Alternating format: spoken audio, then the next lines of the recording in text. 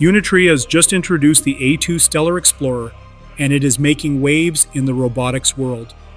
This new quadruped robot is built for industrial use, blending lightweight construction with powerful capabilities.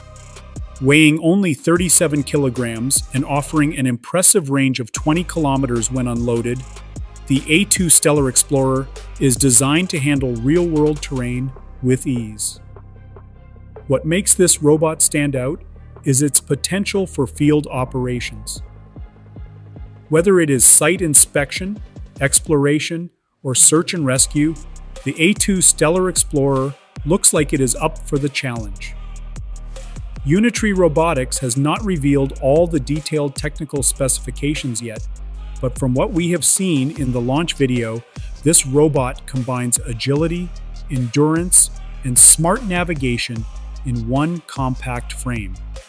The debut video shows the A2 Stellar Explorer navigating rugged outdoor environments with smooth movements and confident stability. Its frame is engineered to keep a low center of gravity while maintaining flexibility, a crucial trait for uneven landscapes and unpredictable obstacles. It is clear Unitree is stepping up its game in the quadruped market with something that feels both futuristic and ready to work today. This is not just a showcase robot for tech fans, it is a practical machine that could be deployed across industries.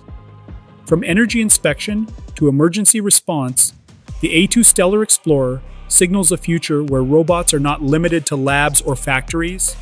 Do not forget to like, subscribe, and hit the notification bell so you never miss the latest in robotics and technology news.